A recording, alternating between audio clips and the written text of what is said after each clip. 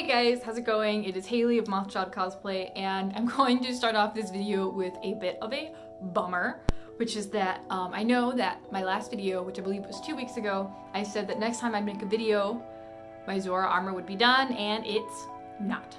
Uh, I have been chipping away at this build. I am so close to being done. In fact, I am finishing this tomorrow. I am 100% confident in that assertion, like it's going to be done. All that's left on this build, all that's left are to glue in the LEDs, do the scoutfly cage, and then do any last minute armor fixing. So in the past, I talked about using an Arduino Uno to power all these LEDs, and I was gonna program this complex thing, and blah, blah, blah, blah, blah, and that's a bust. Basically what happened is I wanted to run three different branches of LEDs off of one single Arduino. In the past, the way that I soldered my LEDs to the Arduino was I soldered them directly to the 5 volt pin on the board.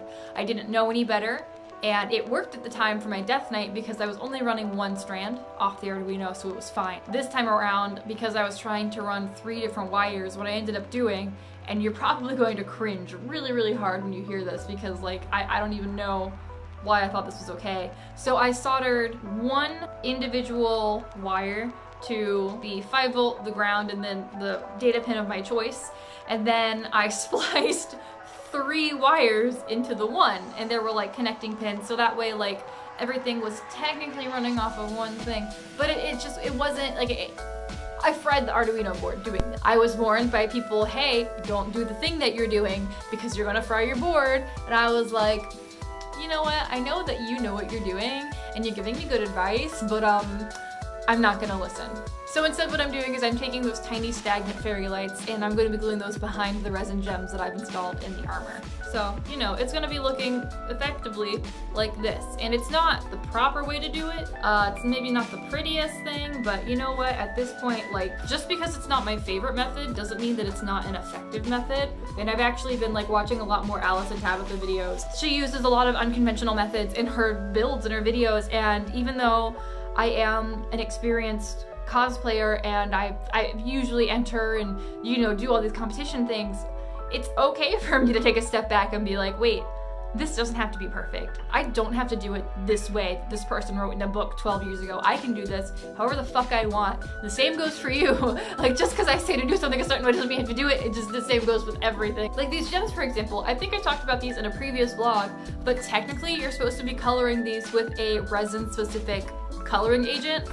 I just put artist ink in there. Like that's that's what is happening. And they turned out well. They cured fine. And I also am really unconventional because with these gems, and I actually, this is something that I, I do kind of wish that I had gone into the past and redone a little bit differently. So I sculpted and molded all of the gems here. Um, and for some reason, when I was sculpting these in my mind, I was like, oh, I can just sculpt the one big size gem, and then for the things that maybe need something that's a little bit smaller than that, I can just cast one for each of the slots and then I can just take my Dremel and then shave it down and carve it into size and it totally works but it took a lot of time and it was messy and it I really wish that I would have just bitten the bullet and gone ahead and sculpted individual sized gems instead of just doing the one for those parts. Moving on to the gems into something that's also a little unconventional, not super, but I feel like people might kind of cringe when they hear about it because I, it's a weird thing and there's no real way to go about it, so people probably have different opinions, but the sleeves on this build. So these are my sleeves. I have one that is completely done. It kind of looks like a spiky purple pineapple. And then I have another one that is half done. I decided early on, I mentioned this before in a build, video that I wanted to use as much airy sort of fabric as I possibly could. I went with a lot of natural fibers on the top and then for the sleeves, once I realized there were scales on here, my first thought was to go and get a nice stiff and dense mesh. This is crinoline mesh right here and sew the scales onto that while leaving solid at the top. So this will allow me to have a good grip for the scales while also making it to where I can get like a nice Like I can feel air on my arms. This is a build that I'm planning on wearing in the summer because I'm a fucking idiot and I like to make this kind of stuff in the middle of the summer. I don't really know why. Um, another thing that I am a little upset about with the sleeve is that so this guy actually, and I know it looks really weird, once I pair it with the gauntlet, it makes a lot more sense. The sleeve is supposed to go inside the gauntlet, and there's no point in making it full length because that's dumb. Which is that. So it looks like it's going in, and it gives the look of like, oh yeah, this is a full arm of armor, and it's not. It's just right there. But this guy doesn't go up all the way over my shoulder as I had hoped. I'm super upset with that. I didn't take the time when I was making the sleeves to really sit down and measure it out. Um, I was in a rush trying to get these ready for me to go and take to work. But it's just one of those things where like, I know that if I had taken the time, it would look better. Moving on from the sleeves that are not completely finished and into the tabard, which in terms of the scales being sewn on, is completely done. Alright, so actually I will admit, not all of the scales are sewn on. The back piece, even with the armored collar on, you can still see some of the black fabric. So I need to go ahead and do like one or two last little top layers, which will not take long at all. So this back panel consists of 183 scales. All of these scales were hand cast by me, hand painted, hand sewn. This thing's a beast all done using Smooth On Featherlight products. They are absolutely incredibly lightweight. I would guesstimate that this entire tabard weighs about 10 pounds. I'm not 100% sure. Once I have the whole build completed, I might look into getting a scale for the house and like weighing myself before putting the whole thing on and then weighing myself after because I have a feeling this whole build probably weighs about 30 pounds. The jacket thing is ridiculously heavy, like the underlayer. Uh, it's so, so intense. The whole thing is, but it's, and then aside from the actual costume portions itself and a bit more into the prop work, I finished up my sword. So I can't even get this whole thing on on screen. So there it is. This thing is five inches shorter than I am. If you're wondering, it does come apart. The handle is separate from this part. All I did was I used PVC. This is three quarters inch PVC for the handle itself. And then the sword itself has, I want to say either one half inch or a quarter inch PVC in the center running along the middle.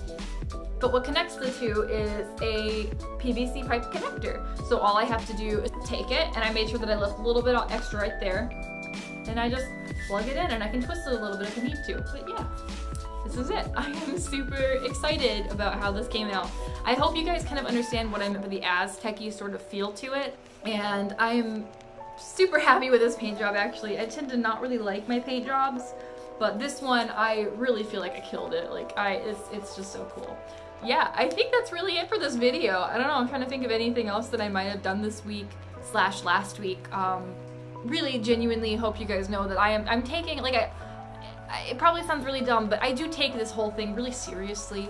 I really care a lot about making sure that I'm being consistent and putting out good quality content for YouTube and even Patreon. I am so incredibly grateful for all of my supporters on Patreon. Like, Without them, this build wouldn't be happening. This is one of the most expensive builds I've ever done. Like, it's honestly, I don't want to think about it too much because it, it kind of like crushes my heart a little bit. It makes my wallet cry.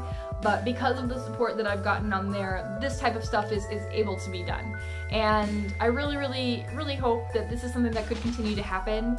I hope you guys are enjoying these videos and the content that I'm making, and I hope that if you're a patron, you're having a really, really good time looking at photos of my cat and all of the work in progress stuff. But anyway, I want to give uh, obviously a massive shout out to all of my patrons, but especially to Nicole, Robin, Things Shall Get Loud Now, and CJ Rose Cosplay. You guys are wonderful. You are great. I'm very, very excited about like all of this. So uh, I will see you guys next week, and if I don't see you next week, maybe I'll see you at a convention with the long boy.